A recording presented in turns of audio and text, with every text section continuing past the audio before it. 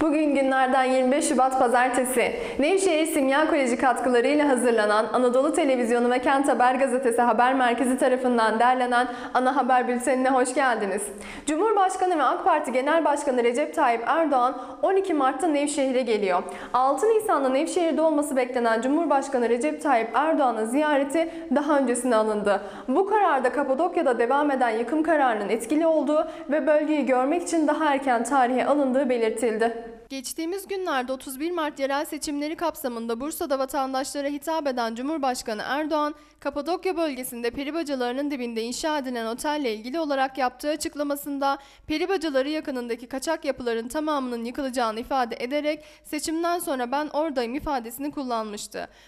Seçimden sonra da ben oradayım. Bu açıklamasının ardından Nevşehir ziyaret programı kapsamında Cumhurbaşkanı Recep Tayyip Erdoğan'ın 31 Mart yerel seçimleri öncesinde 12 Mart 2019 Salı günü Nevşehir'e gelerek bölgemizi ziyaret edeceği öğrenildi. Cumhurbaşkanı Erdoğan'ın Nevşehir ve Kapadokya bölgesinde yapacağı ziyaret ile ilgili telefonla görüşlerini aldığımız AK Parti İl Başkanı Rauf Yanar, Cumhurbaşkanı Erdoğan'ın ziyaretiyle ilgili kendilerine böyle bir bilgi verilmediğini söyledi. Yanar, AK Parti Genel Merkezi ile yapılacak olan bir görüşme sonrasında ziyaret konusu ile ilgili önümüzdeki günlerde bilgilendirme yapacağını belirtti.